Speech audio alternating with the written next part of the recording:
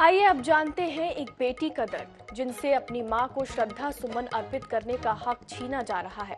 हम बात कर रहे हैं मध्य प्रदेश के पूर्व राज्यपाल भगवत दयाल शर्मा की बेटी मालती इंदौरिया का। राजभवन में उनकी माँ की स्मृति में सावित्री निकुंज गार्डन बनाया गया। पिछले दो महीने से उनको वहाँ पौधे लगाने की अनुमति नहीं दी जा रही है। और मदर्स डे के दिन पूर्व राज्यपाल की बेटी मालती इंदौरिया इस वक्त भावुक नज़र आ रही हैं। क्या वजह है, उनसे ही जानते हैं। क्या वजह है, आप भावुक नज़र आ रही हैं? आज मदर्स डे है। मैं 26 फरवरी को अपनी माँ के याद का एक पौधा लगाती थी राजभवन में सावित्री निकुंज में। मेरे को तब टाइम नहीं मिला। वहाँ से तो मैंने सोचा आज मदर्स डे है। मैं फ़ोन करती रही कल।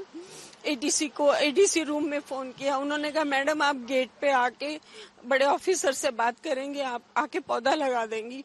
मैंने कहा, ठीक है, आज मैं सुबेरे पौने नौ बजे से राजभवन में खड़ी हूँ गेट पे। मुझे अंदर एंट्री नहीं मिली। और बोले, आप अंदर नहीं जा सकते, अभी पंद्रह मिनट रुकिए, बीस मिनट रुकिए, करते रहे। उसके बाद कहते, गवर्नर साहब परमिशन नहीं दे रहे हैं। आपके लिए चाय नाश्ता भेज रहे हैं आप चाय नाश्ता करिए और जाइए। मैं वहाँ चाय नाश्ता करने नहीं गई थी। मैं अपनी माँ की याद में एक पौधा लगाना चाहती थी। कब से आप पौधा लगा रही हैं और इस वक्त क्यों रोका गया इकतालीस साल हो गए पौधा लगाते।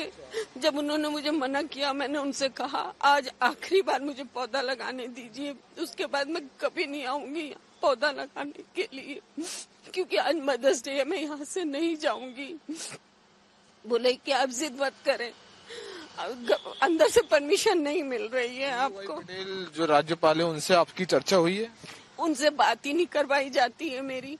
मैंने मेल भी किया था एडीसी को। मेरे को कोई रिप्लाई नहीं मिला। तो देख सकते हैं, ये पूर्व राज्यपाल की जो बेटी है उन्होंने अपनी दर्द बया किया है। वो इकतीस, इकतालीस साल से राजभवन में पौधा रोपते हुए, आई है, लेकिन उनकी एंट्री पर बैन लगा दिया गया है। और इसकी शिकायत अब वो प्रधानमंत्री और राष्ट्रपति से भी करेंगी। कैमरामैन श्रीकांत के साथ सनी मालवीय आईएनएस न्यूज़ भोपाल।